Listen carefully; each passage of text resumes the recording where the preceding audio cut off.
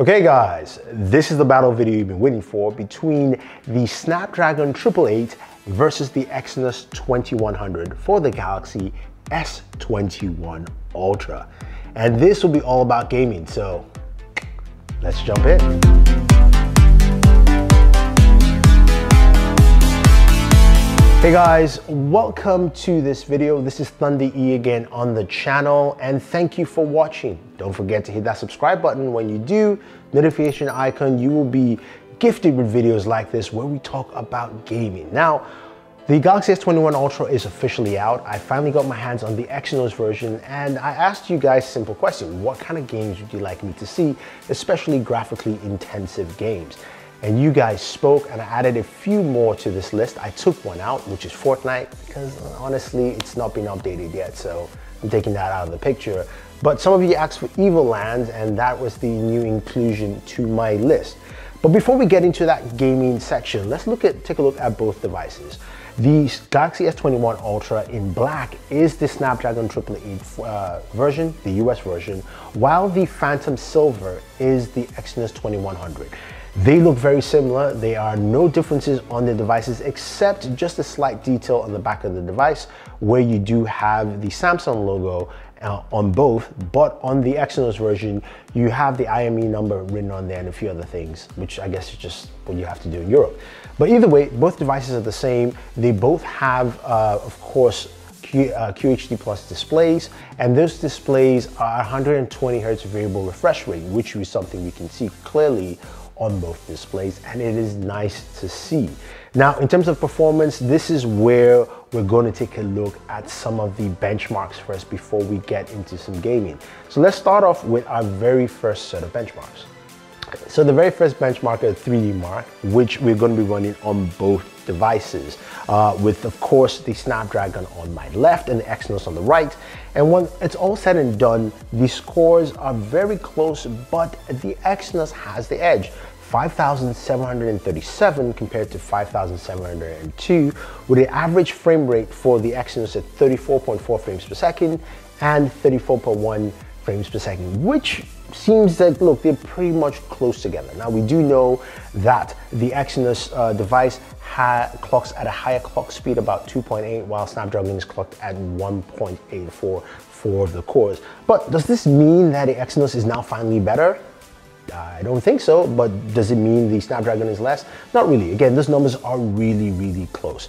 Now, let's take a look at our very first game because, of course, benchmarks don't tell you all the story. And I'll start off with, of course, tried and true trusted Call of Duty Mobile. Now, Call of Duty Mobile is something that runs really well on a lot of devices and I shouldn't see any kind of differences. Now, before we start, I use a benchmark tool called GameBench. I like to use GameBench because it allows me to go in and see a lot of things. Definitely use them if you want to. The link is down below.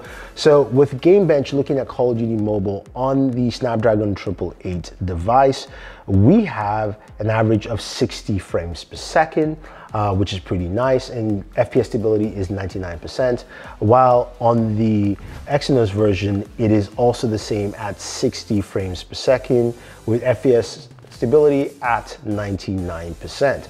We also see that on the Exynos version, the RAM usage is up to 1200 megabytes per second, while on the Snapdragon version, the RAM usage is at 1000 megabits per second. So slightly less, but again, very, very similar in terms of performance. So that is actually pretty cool. Now, let's move on to a game that is more intensive in terms of uh, GPU actualization. That is PUBG Mobile. And of course, with PUBG, we always use various settings for the game. Now, one thing I did find, and hopefully it changes, but gives the Snapdragon version an edge, is that you cannot play PUBG at ultra Ultra HD. That is just not possible right now on the Exynos version. They said an update will be coming, so we'll have to wait and see. So I couldn't test that, but with, of course, the Snapdragon version, it does run PUBG at that, and it runs at uh, 40 frames with 100% FPS stability. So that's something the Snapdragon version can do. Currently, the Exynos version cannot. But we still have to compare them. So Smooth Extreme is the setting we went for. And with Smooth Extreme, uh, the Snapdragon version did a solid 60 frames per second. 99% FPS stability, and uh, the average uh, memory usage is 906 megabits per second. Now, when we move over to the Exynos version, again 60 FPS, 99% FPS stability, and, and the RAM usage is 1082. A little higher again on the memory usage on the Exynos version, but it still seems that it can run the game at that setting quite well. So that is definitely good to know. Now, as we continue, the next thing we want to do is run another benchmark test. And this time it is Geek Benchmark 5. So with Geek Benchmark 5, we can see the difference between the clock speeds for both the Snapdragon and the Exynos version, and how does that actually compare when we actually run those benchmarks. So in single core performance, the Snapdragon is at 1126, while the Exynos is at 1100, uh, 1112, while the multi-core performance of the Snapdragon is 3,487 and the Exynos is 3,467. So what does that mean? Again, it's really close. So to me, this tells me that Exynos has closed that gap in terms of benchmark performance matrix. And what we've seen so far gameplay wise, it's also kind of matched that as well. So as far as I'm concerned, they're pretty much close in terms of uh, performance, but you guys have seen those numbers, but I know you guys care about performance in gaming. So how does Genshin Impact actually perform on both devices? Let's jump in and check that out. So we'll start off with the Exynos version this time, and this is where we saw some interesting uh, performance differences. So we set Genshin at its max performance at 60 FPS, everything at high for both. And on the Exynos version, it ran an average of 50 frames per second 96% FPS stability. The RAM usage was at 2000 uh, gigabytes. So basically two gigs of RAM was used for this, which was quite different. And as we move over to the uh, Snapdragon version, Snapdragon ran Genshin at 60 FPS with 100% FPS stability. So there's a difference there in performance. Not that much, it's 10 FPS if it's something you care about, but again, you know what, we want to run games at 60 FPS, so that actually shows me there's much more difference. And again, the RAM usage is much lower at, at 1,577, so 500 megabits of RAM less in usage. So again, performance is more balanced and also better on the Snapdragon version, but the Exynos version is not far off. Now, before we get into Evil Lands, I want to talk about temperatures. This is where I am shocked this year with, with Samsung. Usually Samsung has some really good thermals on the devices. In the past, I've never passed 104 degrees. With both devices, I got to 109. Now, the Exynos actually ran a little hotter at some points, but the average is around 109 degrees, uh, which I just found really shocking. It got close to like 110 12 uh, for the Exynos version, while the Snapdragon was like 109, 110. Again, this is something that I don't know what's happening with Samsung here. It just runs too hot for me. Maybe it's because they're just trying to push it as much as possible. But temperatures, beware, because this I found intriguing while playing Evil Lands, which is a suggestion you guys gave, so I want to thank you for that. And when we move to Evil Lands here, we also see some clear, distinct differences again. So Evil Lands on the Snapdragon 888 version, I got an average FPS of 80, 81 frames per second with FPS stability of 88 and uh, RAM usage of 1200. So it ran above 60 frames quite well. Uh, this game can, can do 120 frames, but it's really hard. It's a gorgeous game, by the way. It looks absolutely beautiful. It's one that you should get, definitely check out to play.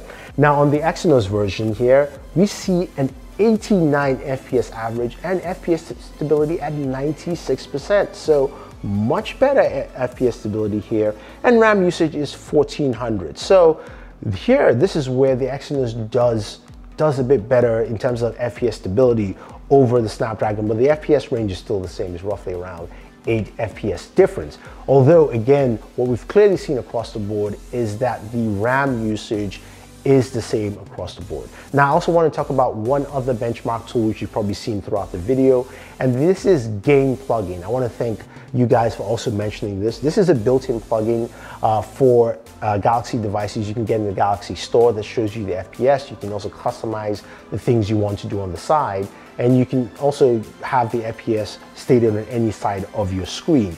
Now, this is a good tool to use because it also confirms what I'm seeing here with GameBench.